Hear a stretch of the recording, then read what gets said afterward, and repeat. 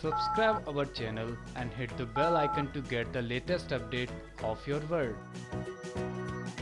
Star Plus पर telecast होने वाला शो अनुपमा की कहानी में आप देखेंगे, राखी चलने वाली है एक घिनौनी चाल होगा बड़ा हादसा, तोशु राखी के सपोर्ट में हर किंजल को वापस लाने के लिए वो तोशु किंजल को दवाई देगा, जिससे किंजल की तबीयत खराब हो जाएगी, वो घर में तमाशा करते नज़र आएगी और उसको डॉक्टर तभी अनुपमा किंजल को डॉक्टर के पास लेके जाएगी और डॉक्टर बताएगी कि किंजल की को जो आप दवाई दे रहे हैं, उससे उसके बच्चे की जान को खतरा हो सकता है। तभी अनु- अनुपमा को राखी पर शक होगा और तोशु के कमरे की तलाशी लेते हुए नज़र आएगी अनुपमा। वहाँ एक पेपर मिलेगा जिसमें मेडिसिन लिखी होगी और उस पर राखी दवे का नाम होगा। अब क्या हाल करेगी अनुपमा? राखी का जब सच पता चलेगा, अनुपमा को देखना काफ़ी इंटरेस्टिंग होगा। आने वाले एपिसोड में कि क्या होगा, हम तो काफ़ी ज़्यादा एक्साइटेड हैं। इस एपिसोड को देखने के लिए आप कितने एक्साइटेड हैं कमेंट करके ज़रूर बताएँ।